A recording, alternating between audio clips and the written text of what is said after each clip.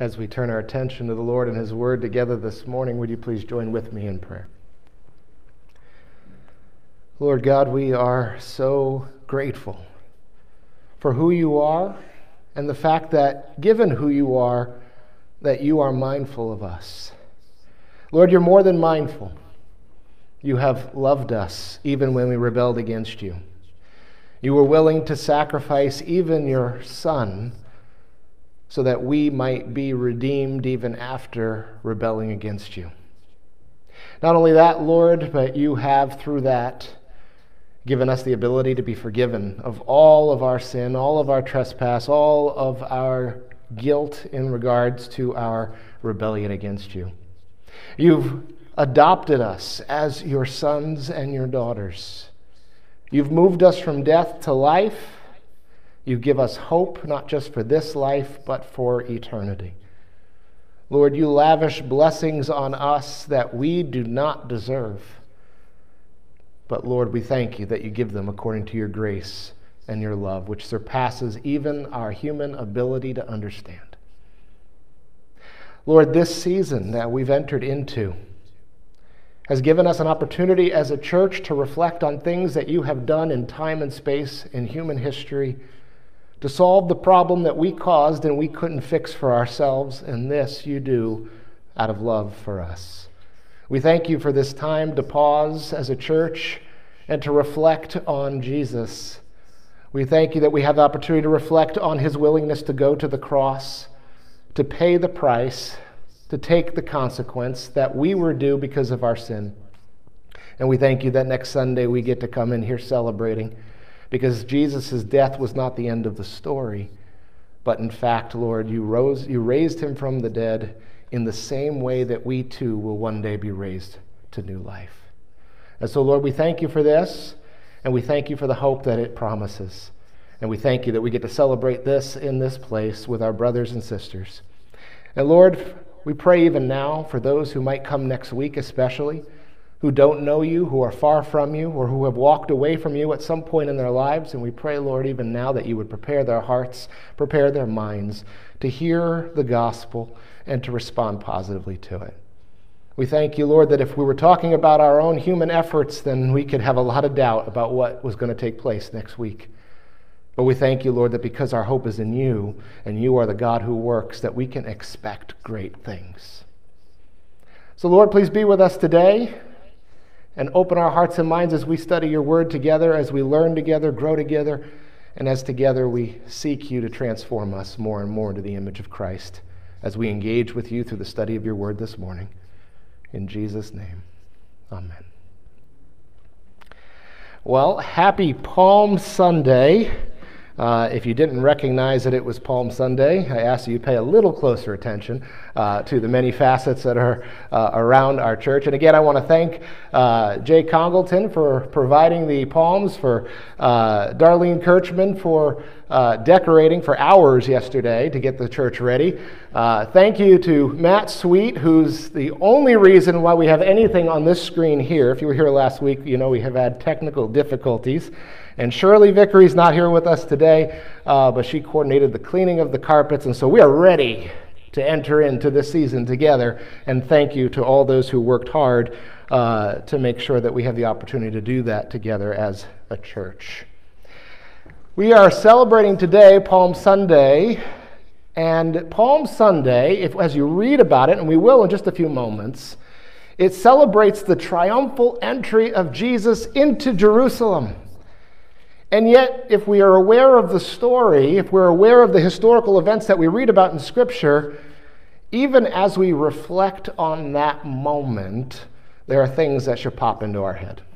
For instance, the many times before Jesus' triumphal entry that he predicted that when he gets to Jerusalem, he's going to be rejected and he's going to suffer and he's going to die or the fact that we know these events are going to take place. In fact, this whole week, Jesus' Passion Week, is where we reflect on those things that are done. And so, even while we look at this tremendous event of Jesus' welcome into Jerusalem, his triumphal entry, there is still those other things in our mind as we know the story of what's about to take place uh, as he goes throughout the week. But let's begin by reading this passage together. If you have your Bibles with you, turn with me to Matthew chapter 21, and we are going to read the account of Jesus' triumphal entry into Jerusalem, what we celebrate at Palm Sunday. Again, that's Matthew chapter 21, and we're going to start in verse 1. And for those of you who do not have a Bible with you or in front of you, um, again, you can thank Matt Sweet after the service. It will be up on the screen today.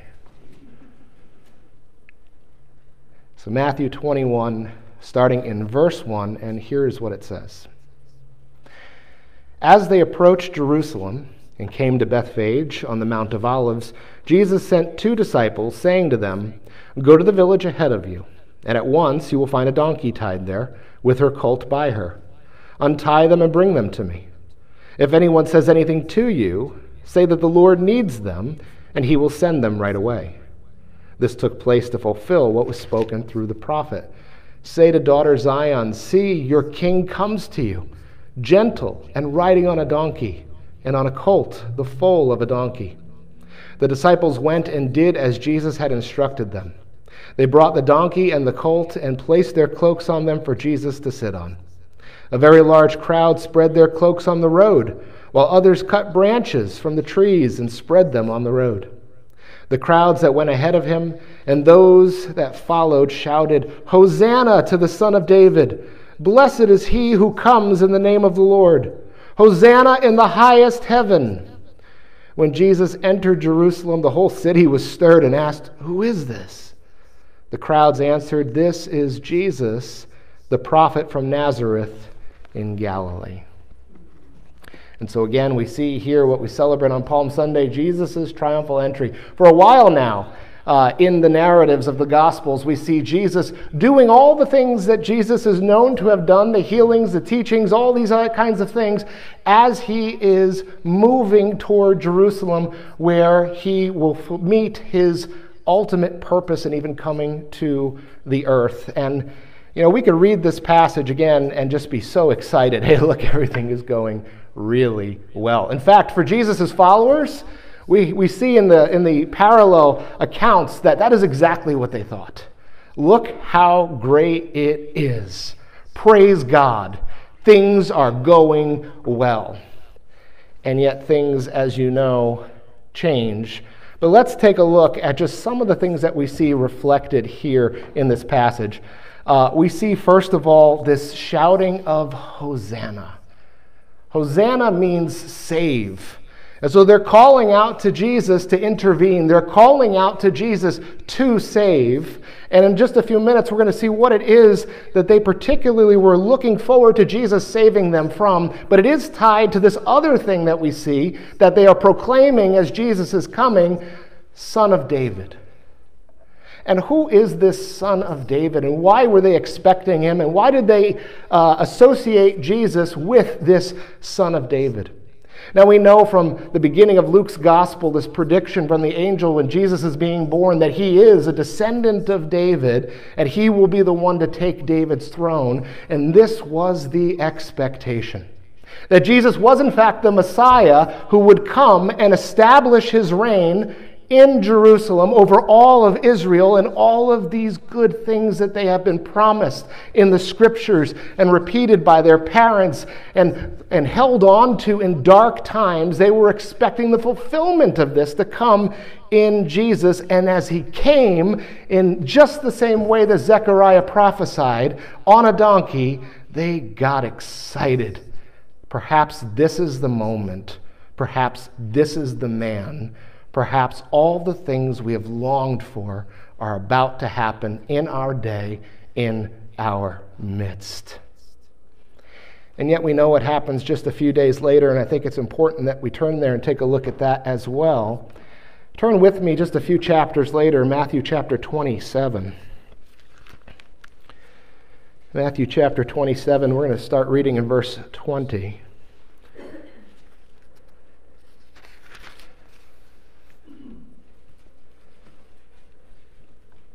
This is Jesus after his arrest, after he stood before the high priest and the Sanhedrin, the rulers of the Jewish people, and they condemned him. And after he had been turned over by them to the Romans, to Pilate, who is the governor over Judea, appointed by the Roman Empire uh, to be at that station. And here Jesus is before, uh, on trial, if you will, before Pilate. And there's crowds of people, lots of people gathered all around, including those who were his accusers. And here's what we see starting in verse 20.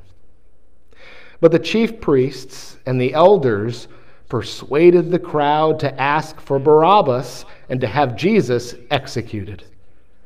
Which of the two do you want me to release to you? asked the governor. Barabbas, they answered. What shall I do then with this Jesus who is called the Messiah? Pilate asked.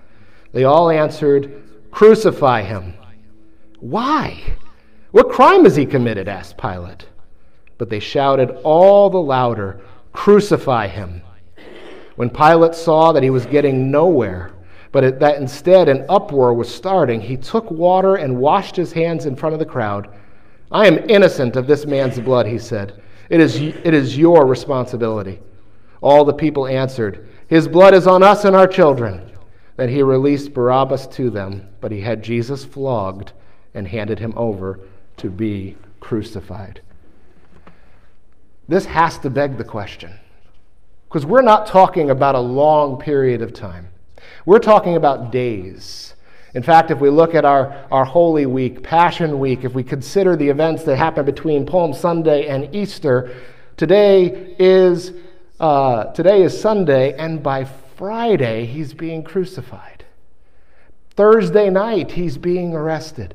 What happened in such a short time that five days later, all the crowds are screaming, Crucify him? And you have to just imagine that at least a good amount of them were among those who either were shouting, chanting, excited about his arrival at Jerusalem, or at least were just amazed about what was playing out before them as Jesus was entering, and all of these crowds were praising him and looking forward with eager anticipation to great things.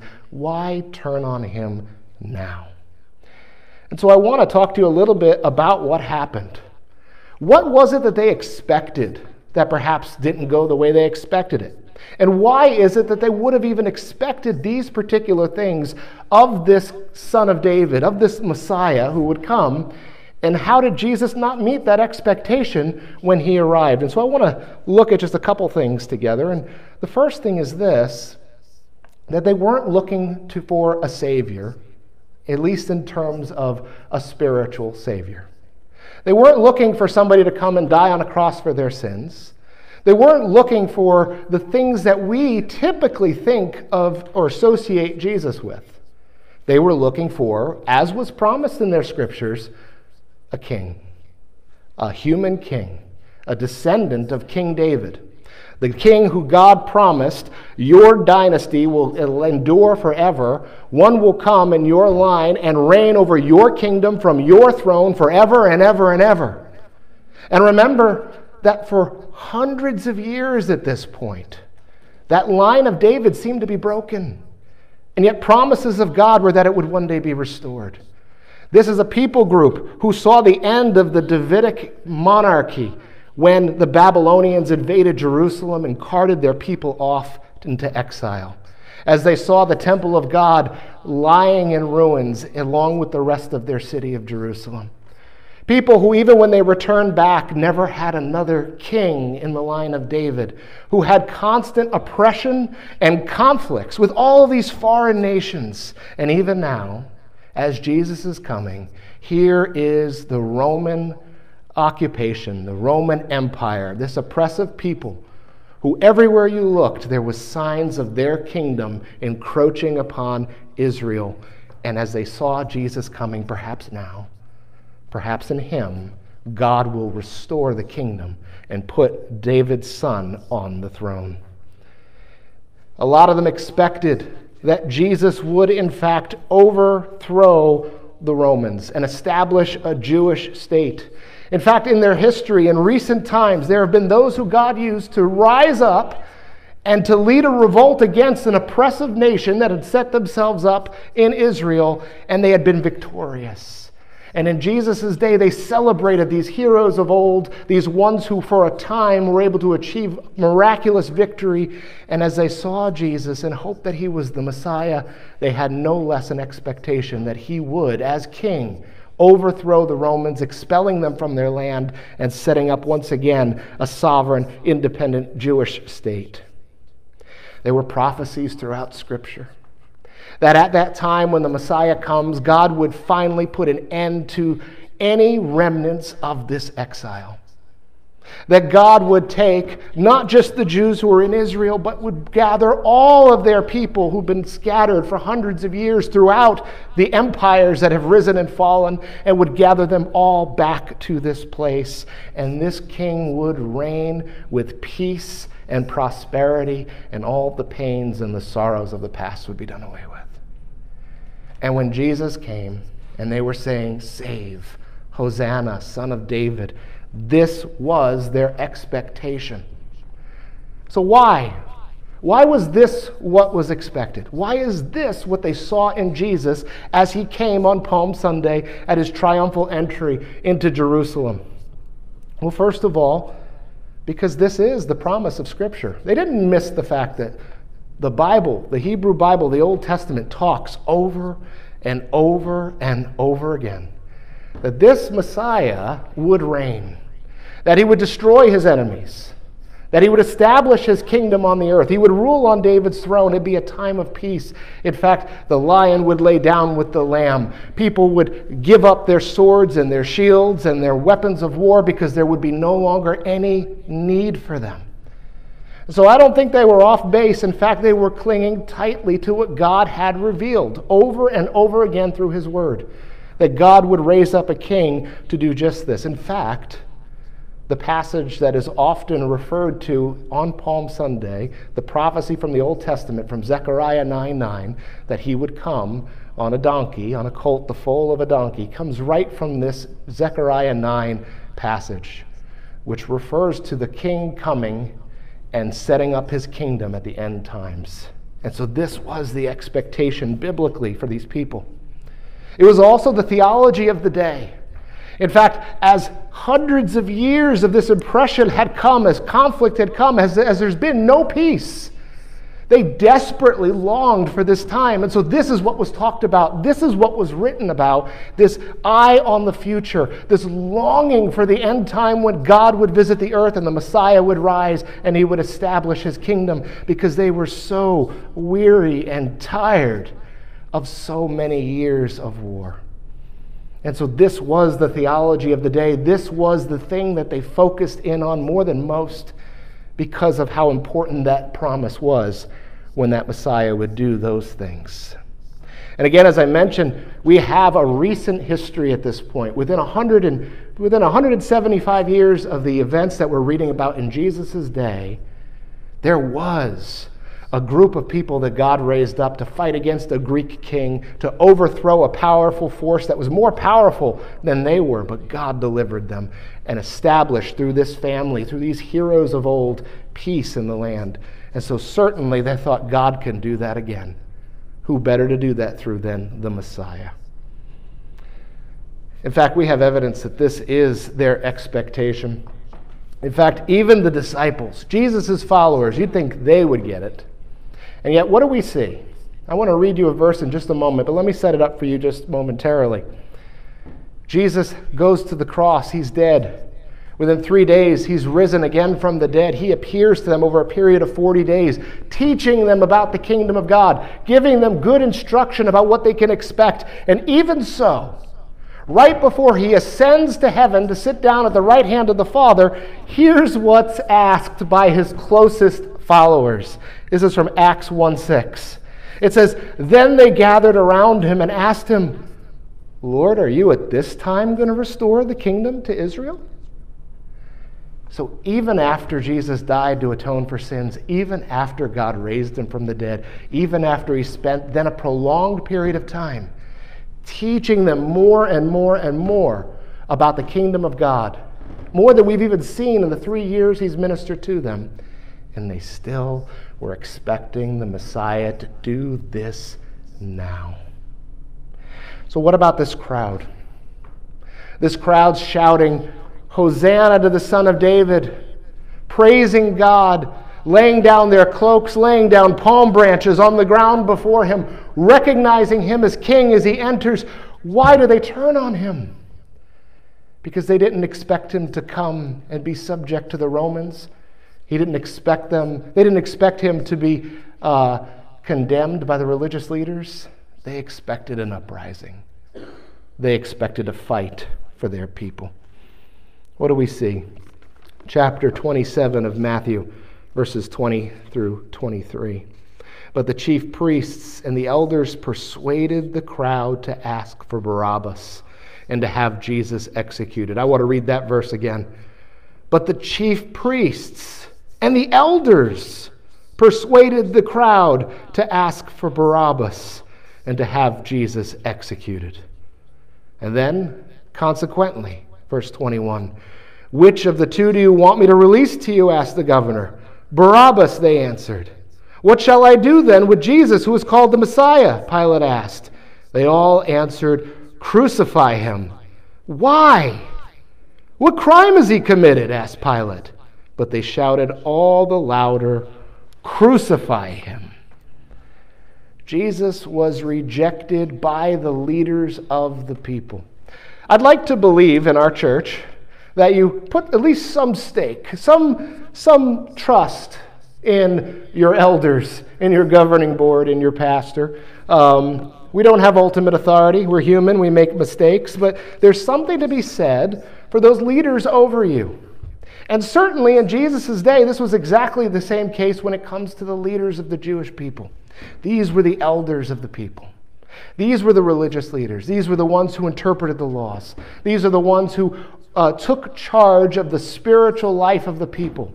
These are the ones who were mediators, if you will, between God and the people of Israel. There was a huge amount of trust and respect for their decisions. And certainly, if Jesus was coming and he was the Messiah, wouldn't their own leaders have received him?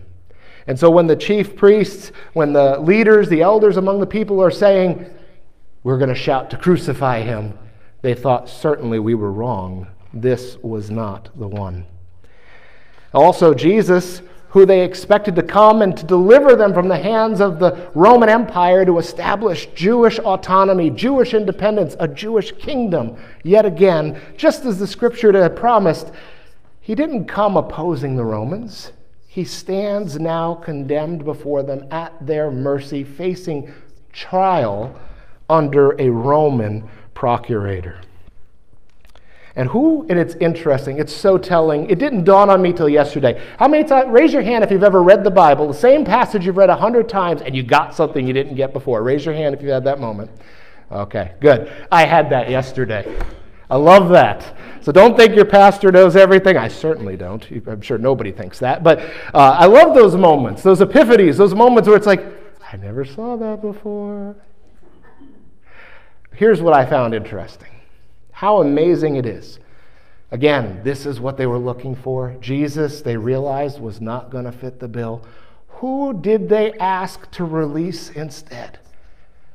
A zealot, an insurrectionist, one who's guilty of murder. What murder?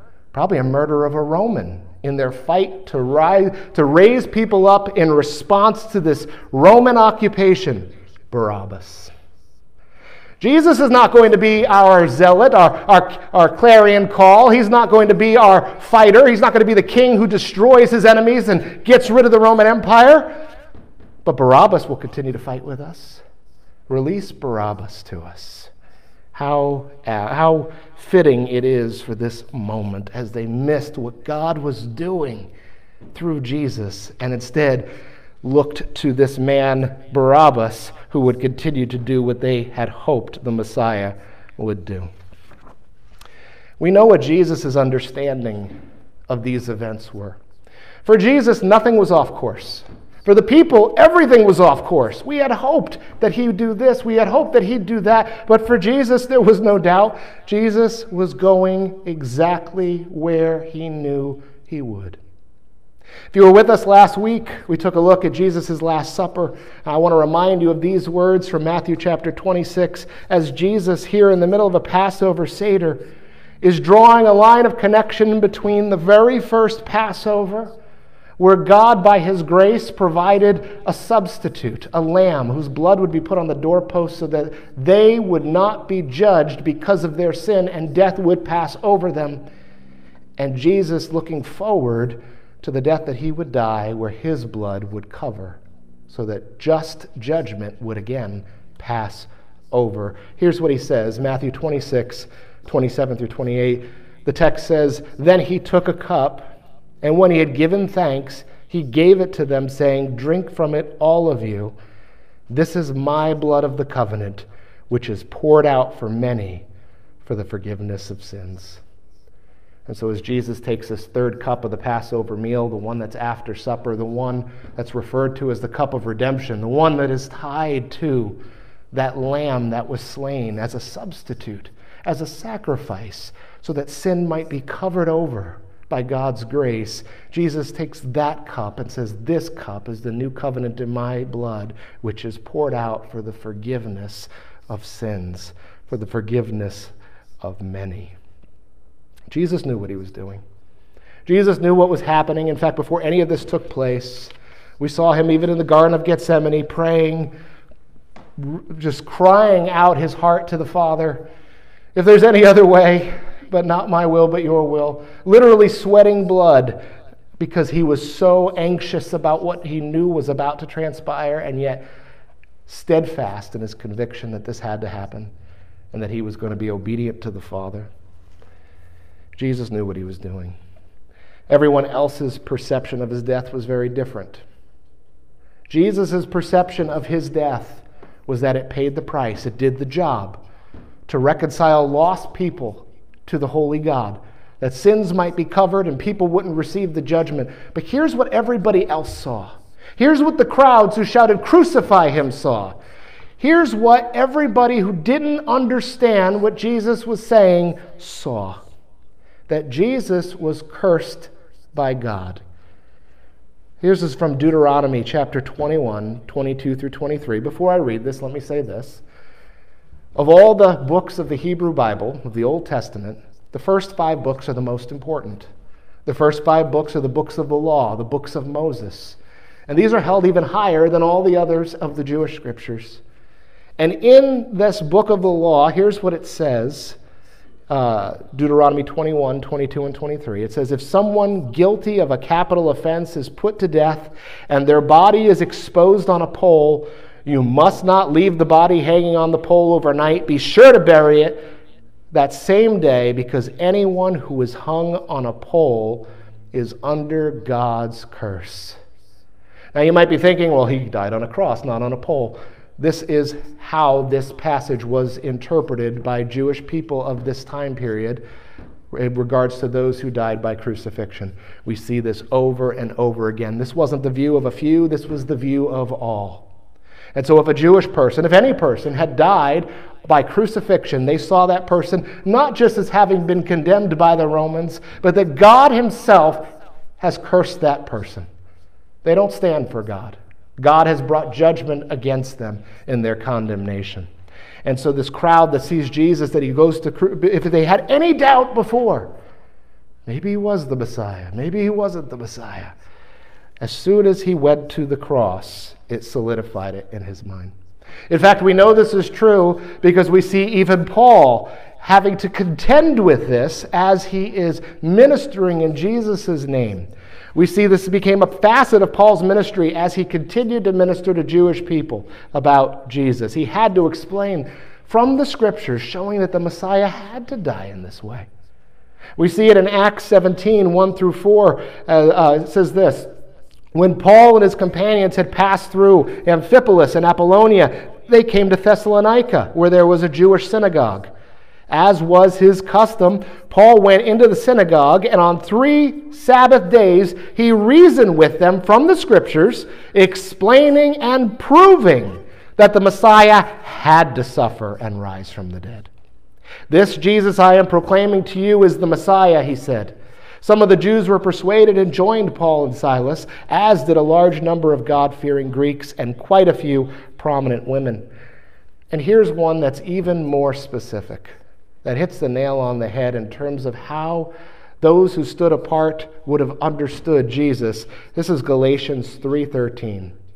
Paul's writing, he says, Christ redeemed us from the curse of the law by becoming a curse for us. For it is written, Cursed is everyone who is hung on a pole. And so Paul very eloquently and succinctly puts it like this that we were under God's curse because of our sin. The law has made that clear because we can't keep it. And Jesus was made a curse for us so that we might have salvation. And so we know that Jesus knew where he was dying for. But for the others, it was hard for them to imagine that he was the Messiah. Even the disciples had some doubts. He, they expected him to come and set up his kingdom right now, as we saw in Acts 1 6. Is now the time?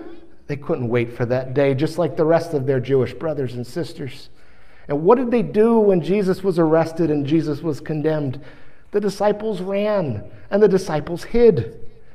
And they thought that they had been mistaken about Jesus. In fact, he got downgraded in their mind. How many times did we see these little moments? Who do people say that I am? Who do you say that I am? You are the Messiah, the Son of the living God. We see this affirmation a couple times before Jerusalem. And what happens after his death? We read this account after Jesus' resurrection as he's appearing to some of his disciples on the road to Emmaus, and we see this little window into their understanding of those events that just transpired. This is from Luke 24, verses 19 through 21. It says, About Jesus of Nazareth, they replied, He was a prophet, powerful in word and deed before God and all the people. The chief priests and our rulers handed him over to be sentenced to death, and they crucified him. But we had hoped that he was the one who was going to redeem Israel. And what is more, it's the third day since all of this took place. This is Jesus' followers, the ones who believed he was the Messiah, and now they refer to him as a prophet. Those who say, We had hoped that he was going to be the one to redeem Israel. And in just a few verses later, Jesus reveals to them, um, You realize who you're talking to here? And he shows them through the scriptures that this is exactly what had to happen for their salvation. And what a beautiful picture. Jesus was never under God's curse, not for anything that he did. He certainly wasn't rejected by God. How do we know that? because his moment of vindication was his resurrection from the dead, which we get to celebrate next week. Know, there are, here's the thing about miracles there's miracles, and then there's other things, but a miracle is something only God can accomplish. Now, sometimes he enacts those through his people. But believe me, they're not the power behind the miracle. God is the power behind the miracle. Only God has the power to do a miracle. And there are things done that claim to be miracles. There are tricks, there are probably things evil spirits do that could give the appearance of a miracle. But there's some things that nobody could do by, but God, things that are clearly a miracle, and there's no contesting that. And I would argue that someone who is dead for three days, rising to new life, qualifies as a bona fide miracle. Would you agree with me? And only God can perform a miracle. And so God raised Jesus from the dead. And if you've been in this church, if you've known me long enough, you've heard mountains of evidence for that fact. By God's grace, He has been given us historical evidence to be able to demonstrate the truth of it. Come back next week, you'll hear some of it. God raised Jesus from the dead. But here's the thing during his life, before his death, Jesus made a whole lot of claims a whole lot of claims about himself, a whole lot of claims about his relationship with God the Father.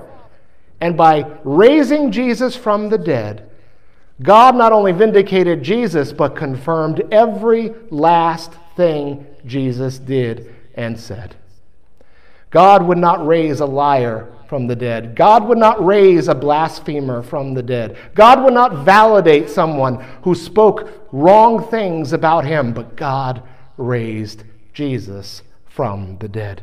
And by raising Jesus from the dead, he validated every claim that Jesus made. What a wonderful God we serve. And you know what? We could take joy in the triumphal entry of Jesus because while all the crowds around may have had their hopes dashed to pieces as soon as their religious leaders denounced him and he stood condemned before the Romans, we know that he entered Jerusalem for the very purpose which he fulfilled on the cross that our sin might be paid for. That we might be, those who have been apart from God because of our sin, might be reconciled to our God. That we who have been dead, walking around as dead people, spiritually cut off from the source of life, can have new life, eternal life, now and forever. That we who lived in a world without hope now have hope now and forever. That no matter what we face, no matter what hardships come our way, no matter what calamity we see as we look out the doors, we know we have hope because God is unmovable and God is sovereign and His will will out. Praise God. This is a wonderful week for us. The truths that we celebrate this week are not only true this week, by the way. In fact, it needs to be Resurrection Sunday in our hearts every day. It needs to be Good Friday every day. It needs to be Palm Sunday every day because these truths are always true. And yet, I praise God that uh, those who've gone before us thought enough to put it on the church calendar uh, that we can, together with the body of Christ all around the world, reflect on these things at this time of year. Because if we're being completely honest, we get busy, we don't have our priorities in order. We don't read the Bible as much as we should. We let a lot of things guide us. We need to provide for our family. We, we, we have a, a demanding job. Uh, you know, hey, it's season. I'm working morning till night. Uh, uh, you know, I have expectations that my community expects of me. And, and we have a lot of things vying for our time. We have a lot of distractions that happen in life. We face hardships and they derail us from our plans. We, we, we, tune into the news and see the chaos around the whole world today, and we start, to, we, we start to get down about things in the world, and there are so many other things that distract our hearts, that distract our minds from the very truths that are essential for us. That God loved us so much that he was willing to send his own Son, that Jesus went willingly to the cross to atone for our sins, that God raised him from the dead to secure our right standing before him and that we might know the truth of these things that have been done for us. And friends, I could tell you till I'm blue in the face, you need to read your Bible. You need to go evangelize. You need to come to church. You need to serve the Lord and you know find out your gifts and use them and I could tell you all the things you're supposed to do. But here's the thing. Do you know what what for me at least in my life transitioned me from these are the things I have to do, to I can't wait to do these things. It's by keeping these truths, these historical events that's, that, that are of infinite significance to us, by keeping them near and dear to your heart, to reflecting on them every single day. The gospel is not just to be proclaimed out there, but to be reminded of every single day. And as you remember what God has done for you, what choice do you have? But to live your life in response to it. To worship God with your very life because of how much He loved you and what He was willing to do for you. Let's pray.